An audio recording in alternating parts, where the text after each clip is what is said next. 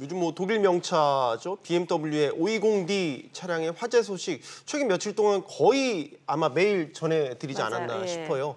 어, 심지어 어제는 또 고속도로에서 주행 중이던 BMW 520D 그 차량입니다. 불이 또 나기도 했습니다.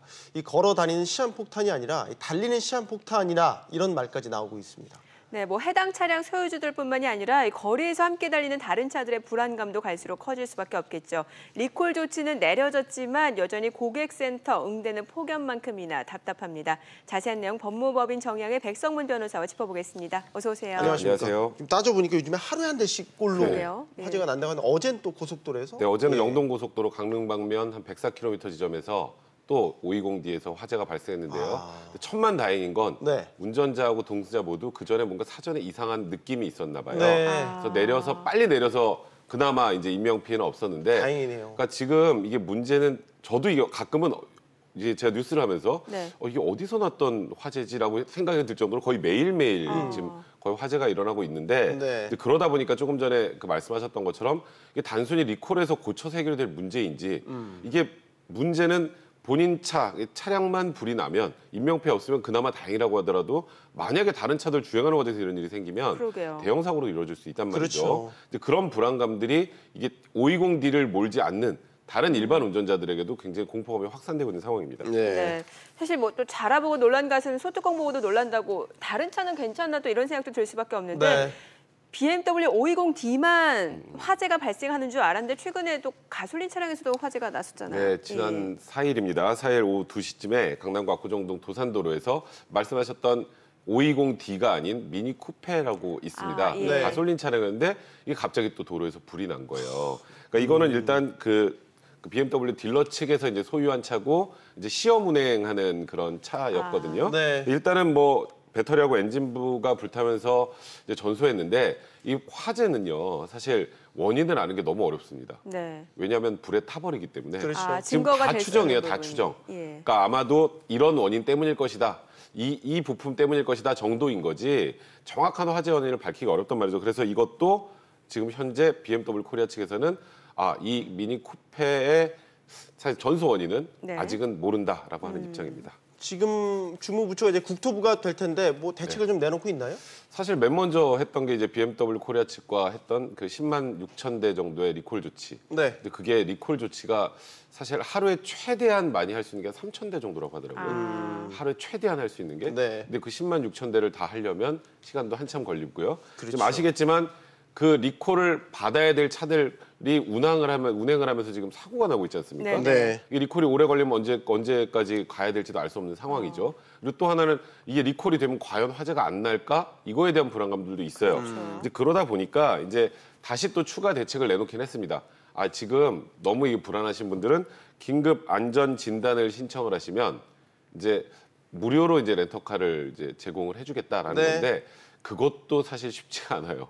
이것도 차량이 워낙 많잖아요. 이거 신청하면 그렇죠. 바로 바로 차량 구해서 무상으로 렌트해 주는 것도 사실 어려워요. 그러다 보니까 이제 그 다음 단계로 국토부가 이게 지금 사실 BMW 520D가 화재가 올해만 해도 20건이 넘습니다. 네네. 근데 이제서야 대책이 나온다는 거에 대해서 비난 여론이 일다 보니까 이거 BMW 코리아 측에서 화재가 발생하는 원인에 대해서 이미 파악을 했음에도 불구하고 늑장 대응을 한 것이 아니냐 라고 해서 지금 형사처벌 얘기까지 지금 나오고 있는 상황입니다. 아, 뭐 국토부 뭐 BMW 화재 원인 은폐 축소에 조사하겠다.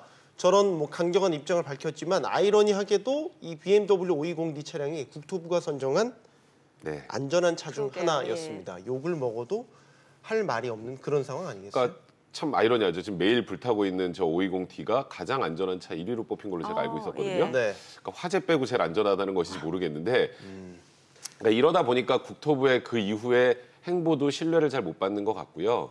이게 제가 말씀드렸던 것처럼 제가 대충 건수를 좀 적어왔는데 네. 1월 달에 3건, 2월에 두 2건, 화재 발생 건수입니다. 네. 3월에 한 건, 4월에 다섯 건, 5월에 다섯 건, 7월에 11건.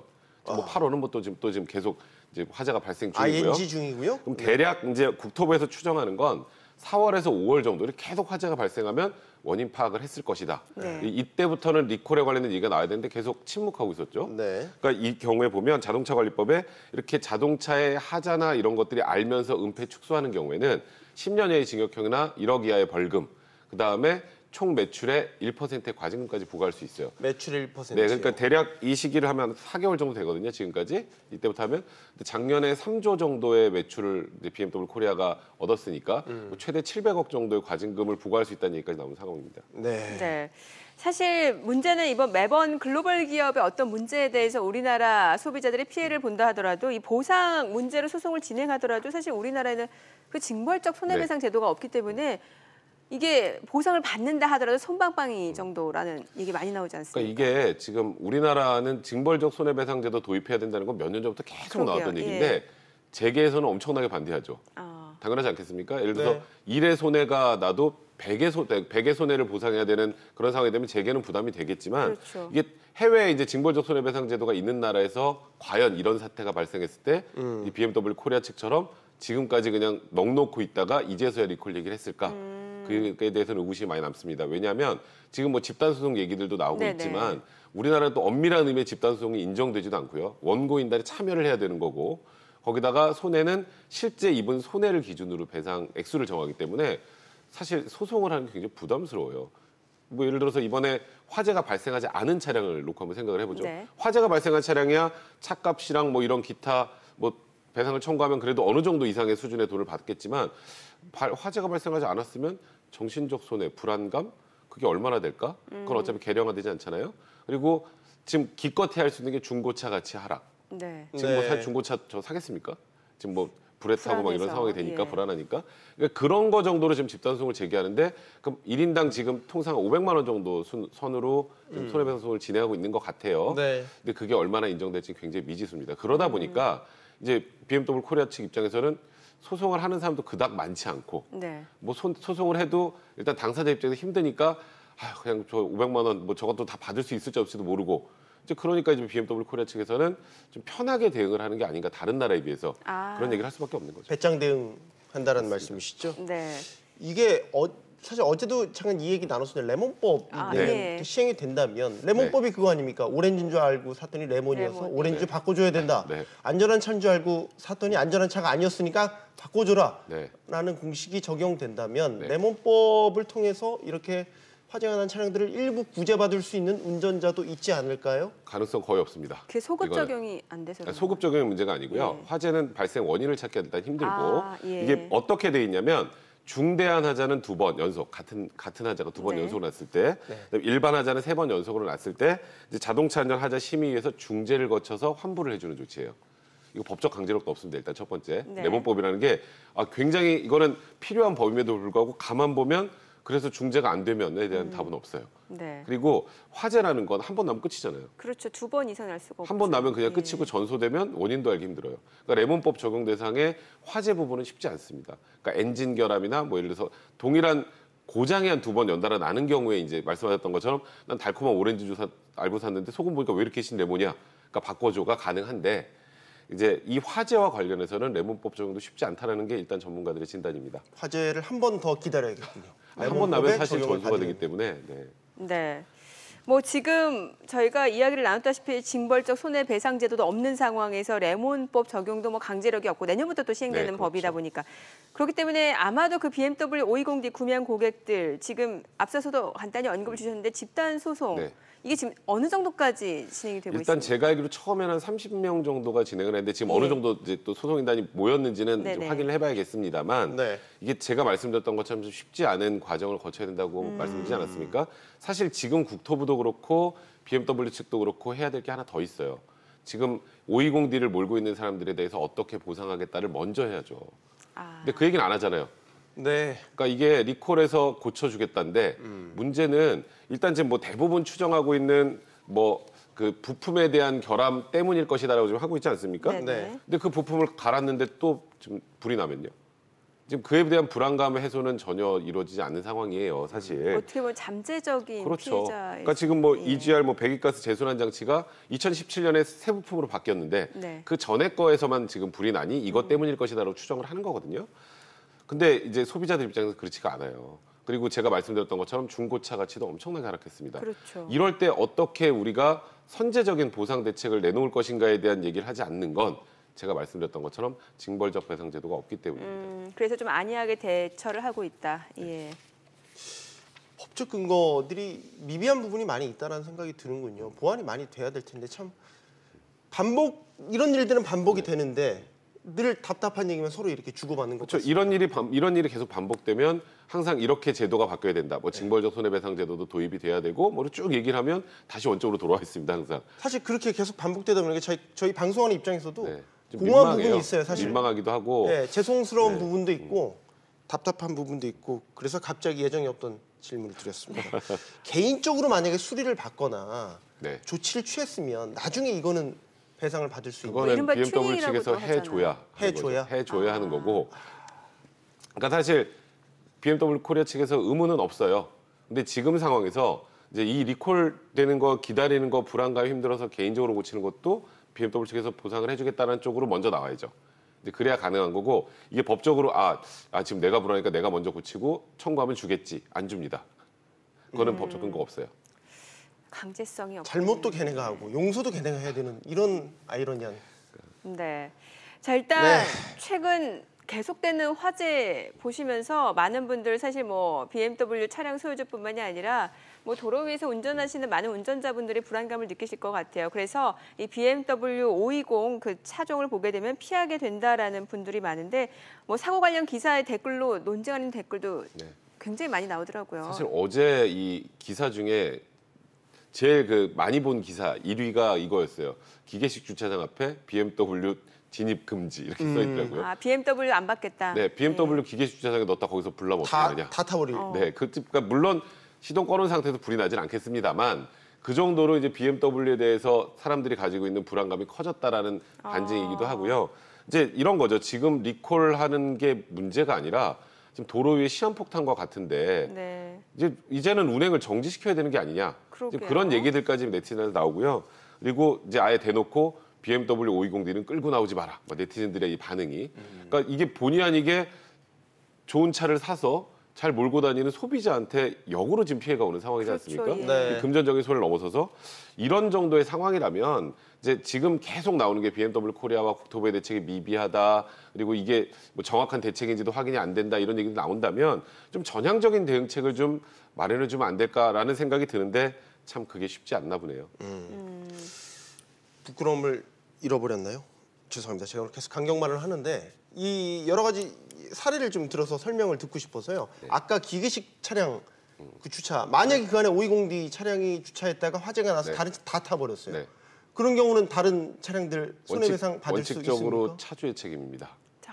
차주 원칙- 개인의 책임이에요. 아, 그렇죠. 자기가 주차를 해서 자기 차에서 불이 난 건데 음. 그게 이제 뭐 BMW 이 그 차량 자체 원시적 결함 때문이라는 거를 차주가 입증을 해야 그걸 구상할 수 있겠죠. BMW 코리아 측에.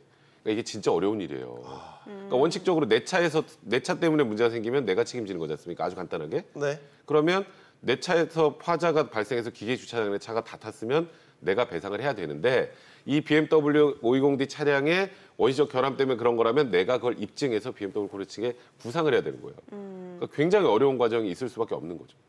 아, 네. 이- 지금 아직까지는 인명 피해가 없는 네. 상황인 거죠. 네.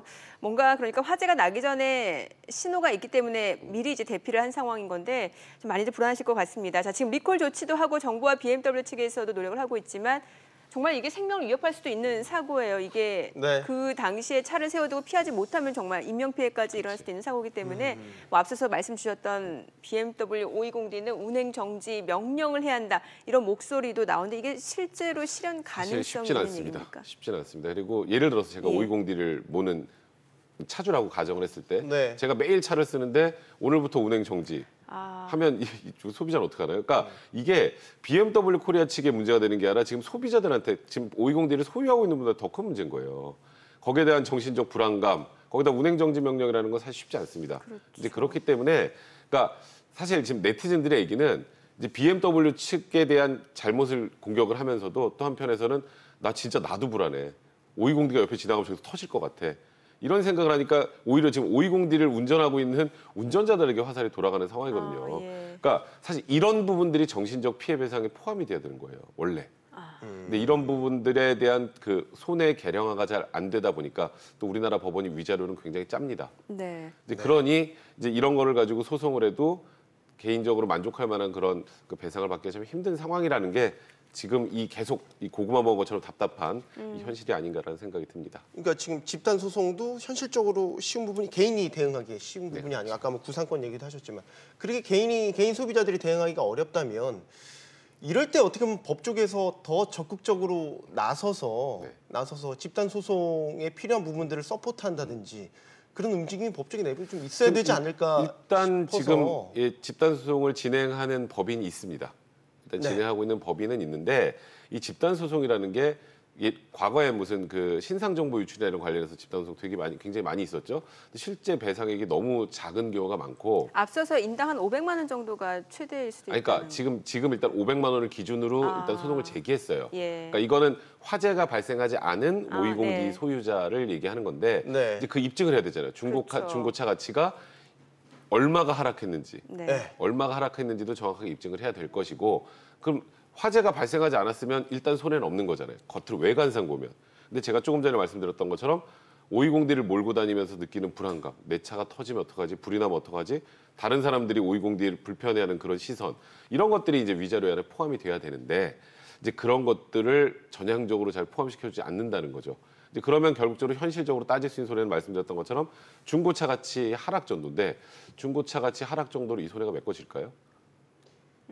그래서 다 같이 합심해서 변호사들 뿐만 아니라 전문가들 합심해서 같이 좀 대응을 하면 뭔가 그래도 돌파구가 있지 않을까 그렇다 해도 이제 우리나라 영화처럼 말이죠. 네, 법 체계 자체가 우리 우리나라 법 체계는 손해는 발생한 것만 배상해 주는 제도입니다. 아주 간단하게 말하면. 그러니까 말씀하셨던 것처럼 야 이걸 이렇게 허술하게 만들어서 사람들한테 이렇게 피해를 끼쳤으니 너는 벌을 받아야 되라는 징벌적 의미의 손해배상이 없잖아요. 그렇죠. 그러다 보니까 이런 문제가 계속 발생하는 것 같습니다. 네. 네, 답답한 상황은 계속되고 있는 것 같습니다. 백성문 변호사였습니다. 감사합니다. 잘 들었습니다.